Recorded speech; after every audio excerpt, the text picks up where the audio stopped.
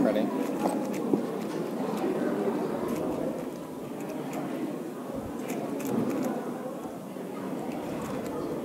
Eight.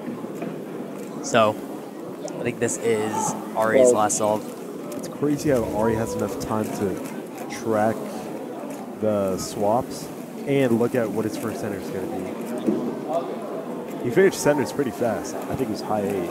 Yeah. It Should be a good solve for him. Both enters already. Oh, wow. Oh, wow. Oh, wow. Oh, my God. So close to sub 20. Yeah. That's a PR single for him.